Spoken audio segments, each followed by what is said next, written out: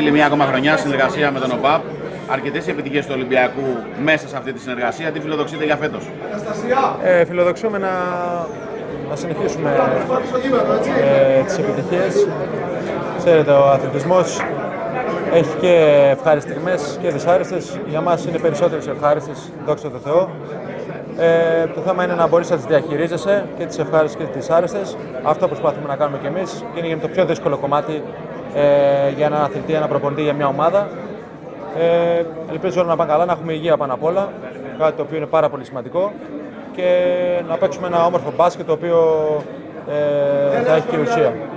Τύχη στη στιγμή λέει το σκράτσα, αλλά εσείς θέλετε τύχη τη χρονιά. Ναι, ε, ισχύει αυτό.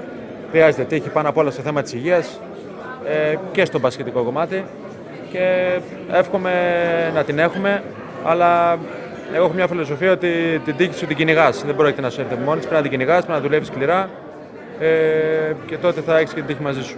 Βασίλη, θα δούμε κάτι διαφορετικό φέτος για να γίνει καλύτερος ο Ολυμπιακός, γιατί αυτός είναι πάντα στόχος, να γίνει καλύτερη. Σίγουρα. Ε, κοίτα, το καλύτερο από την περσινή χρονιά είναι να, να πάρουμε το κύπελο του πρωτάθλημα και να, να πάρουμε, φτάσαμε μέχρι το τελικό. Να πάρουμε την Ευρωλίγα. Αυτό είναι το καλύτερο. Κοίτα, στόχος μας είναι να πάμε πέρα την πλάκα βήμα-βήμα. Ε, έχουμε μεγάλους στόχους, κάνουμε πρωταθλητισμό. Ε, διεκδικούμε και τους τρεις τίτλους που συμμετέχουμε. Και όπως είπα και πριν, να έχουμε υγεία και να παίξουμε ένα καλό μπάσκετ. Ευχαριστούμε πολύ, Βασίλη.